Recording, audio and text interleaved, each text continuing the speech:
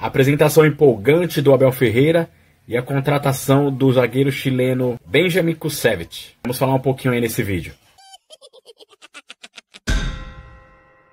E aí, Sociedade Esportiva, um dia movimentado aí no Palmeiras, né? É, começando aí a falar da apresentação do Abel Ferreira. Uma apresentação aí que muitos torcedores, se já estavam empolgados com o Abel Ferreira, ficaram mais ainda, né? Ele falou muito bem e deixou uma impressão aí a melhor possível para o torcedor palmeirense. Destacando algumas coisas que o Abel Ferreira falou, né? Ele disse aqui da, da importância dos jogadores experientes, né? De, de ter no elenco, né? Pois eles ajudam muito os jogadores da base. Realmente é isso, é, tem que ter sempre a mescla, né? Os jogadores da base têm que se espelhar muito nos jogadores experientes, por isso que eles têm que, que dar o exemplo, né? E outra coisa que animou muito nessa entrevista dele foi que ele, ele falou muito dos jogadores, né? Falando o nome dos jogadores como que já conhecesse há muito tempo. Então isso daí mostra que ele está estudando, que ele está interessado. Isso é um ponto muito positivo aí. Eu gostei muito disso. E a maioria dos torcedores destacaram isso né, nas redes sociais. Ele falando o nome de cada um jogador, falou de praticamente todo mundo. Legal isso daí. Anima. Uma coisa que ele disse também aqui que interessante, né, pontuar, que ele com 23 anos apenas, ele ainda era jogador, mas ele já tinha é, curso para ser treinador.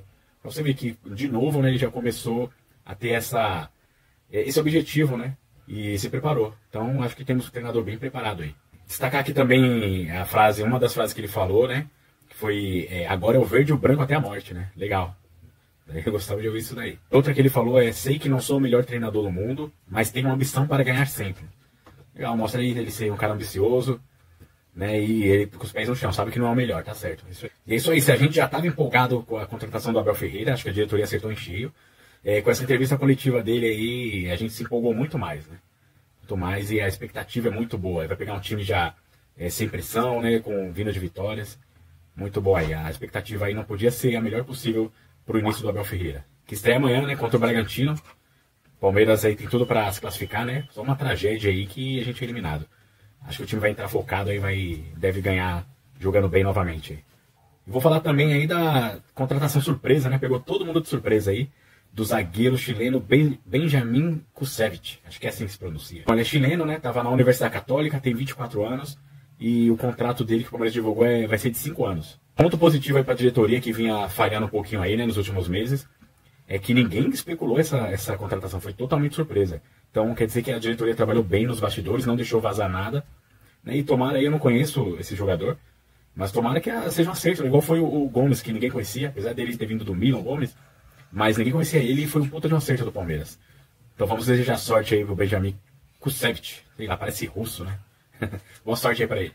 Estávamos precisando mesmo aí de um zagueiro, né? Agora aqui provavelmente o Felipe Melo não vai ser mais zagueiro, vai ser volante, que é a posição dele mesmo. Devem vir mais contratações aí, surpresas, hein? Na minha opinião, que precisa urgente aí de um lateral esquerdo, né? Lateral esquerdo a gente precisa com urgência e tomara o Palmeiras traga aí também. É isso aí, pessoal. Por hoje é só. Passando aí para comentar esses assuntos que surgiram hoje aí no Palmeiras. Assuntos muito importantes, né? Peço aí para você que ainda não é inscrito que se inscreva no canal. Deixa aquele like e ative o sininho das notificações para ajudar o porcão aqui, beleza? Abraços e até mais. Falou!